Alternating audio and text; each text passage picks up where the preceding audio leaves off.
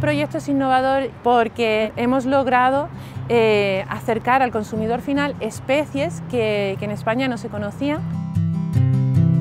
Hemos sido pues, pioneros cultivando especies más distintas, eh, pues, por ejemplo la seta de coral rosa, la seta de limón, melena de león, shiitake por supuesto también, ¿no? Eh, especies más convencionales, siempre con la filosofía ecológica.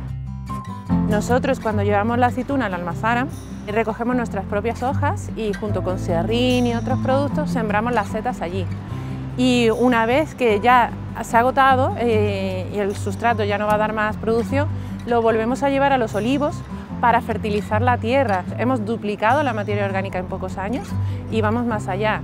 Estamos intentando trabajar el suelo porque el suelo al final es el que da la recompensa en la cosecha de los árboles. La península ibérica es uno de los puntos con más biodiversidad de toda Europa y la gente no lo sabe.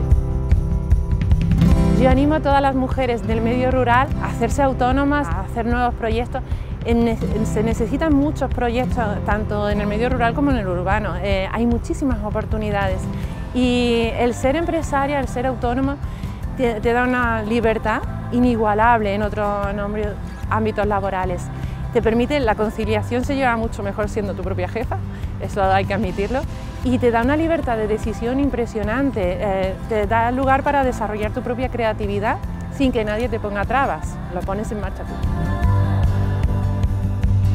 Nosotras innovamos en el medio rural.